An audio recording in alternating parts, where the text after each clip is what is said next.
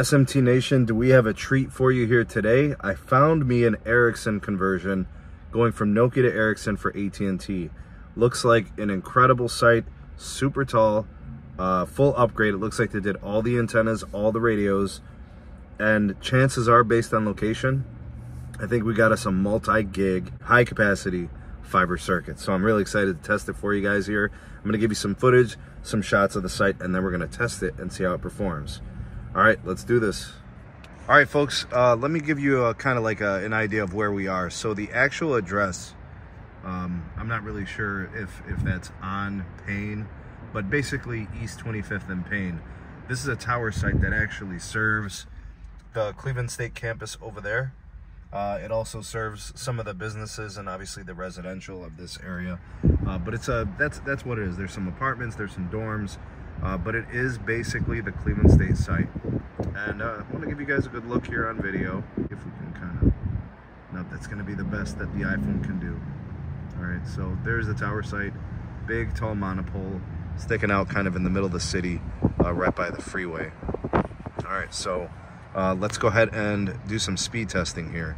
Uh, we will be testing on my Project Genesis line that is stuck in AT&T. All right, let's test it. All right, folks, let's hit it with the Ookla speed test. We'll go ahead and clear the last one. And hopefully we get a good showing here from AT&T. Uh, hopefully we're connecting to all elements of the 5G Plus.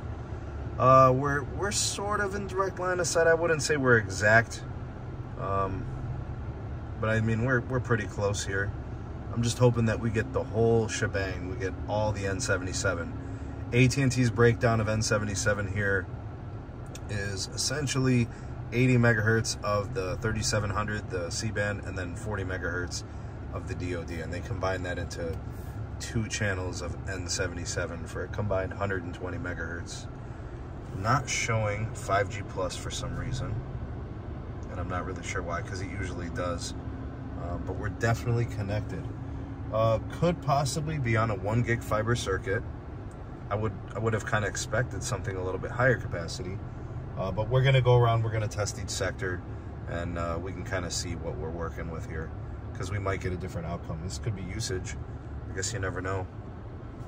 All right, so we've got 475 down, 61 up, 24 ping, 2 jitter, loaded latencies ranging between 500 and 900, respectively.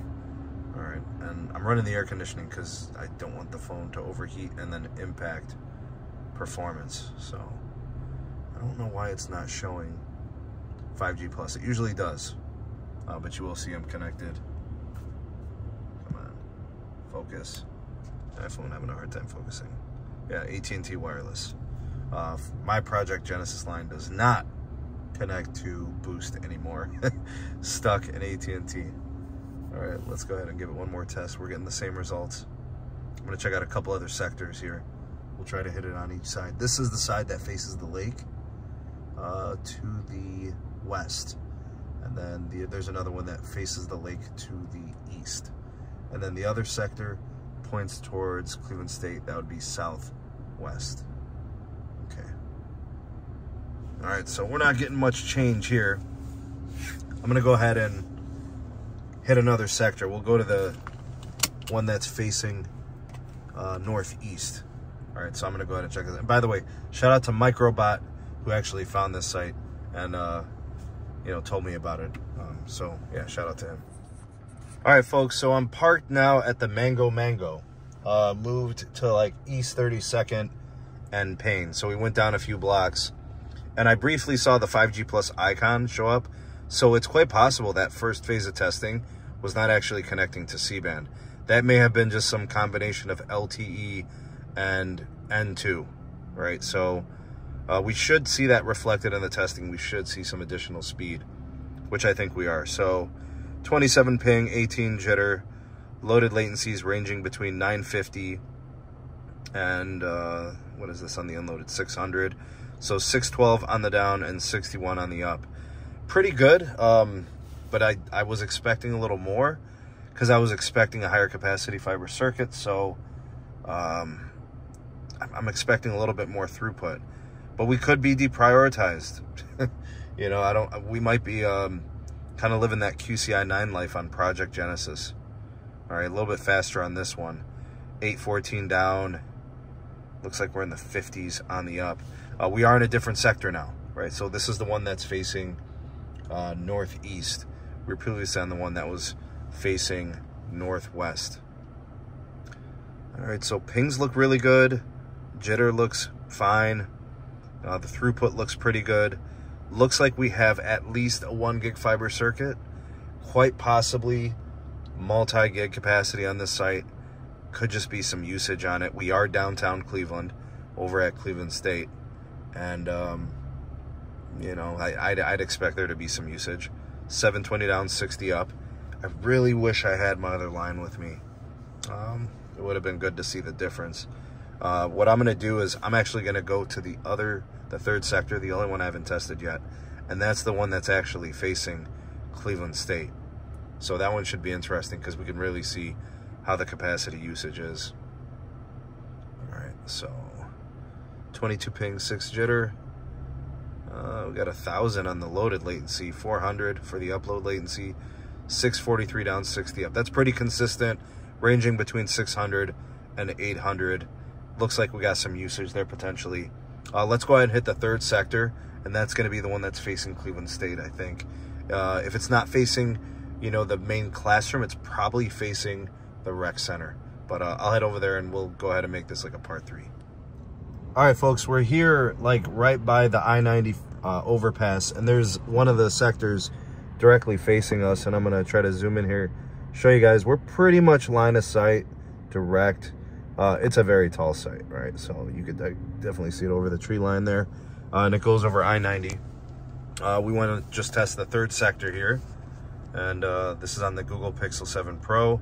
Uh, we tested the two other ones. Now we're getting the third one, and yeah, I I, I don't know if it's usage. I don't know if it's the fact that it's capped out with backhaul, uh, limited fiber circuit capacity, or if it's the the the access. You know, the the Project Genesis. I'm I'm basically on QCI 9 here.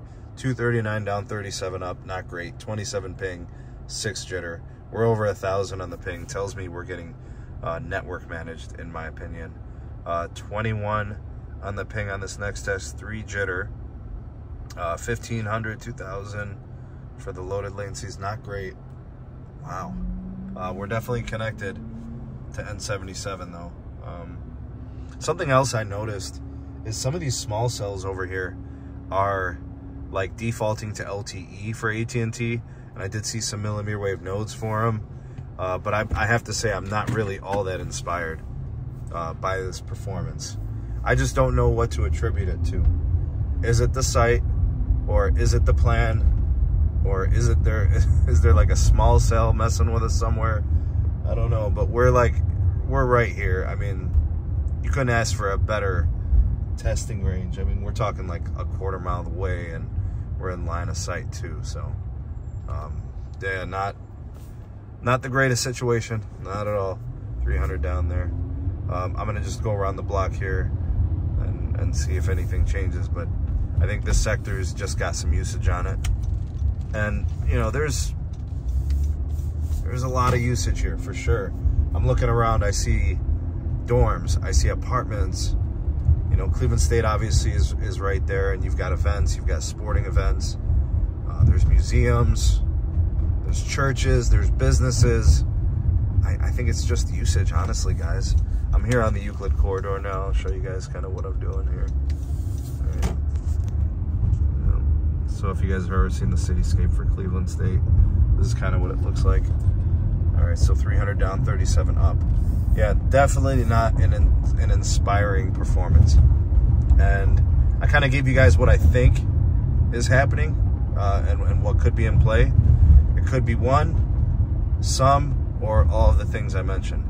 But uh, yeah, that got some buildings maybe causing this performance drop off. I don't know, man. SMT Nation, it is time for me to introduce to you Aura. Give you guys an incredible suite of cybersecurity protections to keep everything that you do online safe, keeping you safe from identity theft, scams, online threats, including protections for your entire family.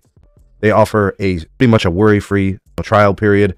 Obviously, the pricing is very competitive, starting at $12 per month.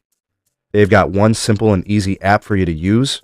They've got incredible features, a million dollars in coverage, 24 7 expert fraud support, transparent pricing, the money back guarantee at 60 days with a free trial, no strings attached. So, with the odds of falling victim to an online crime being 1 in 4, this would change everything. Really should check them out. The financial fraud protection is worth its weight in gold. Help keep your kids protected within boundaries that you set forth for them. Proven to be the fastest, most reliable fraud alert system. And it's as simple as choosing your plan, simply setting up how you're enrolled, and then getting notified for all the things that it's monitoring. Start your free trial now. Use our link. It's down in the description and it's also here on the screen. Aura.com forward slash Sneed. You guys can click the URL. It's hyperlinked down in the description. And again, it's up here on the screen, aura.com forward slash Sneed. Protect yourself from all the digital threats that's out there in the world.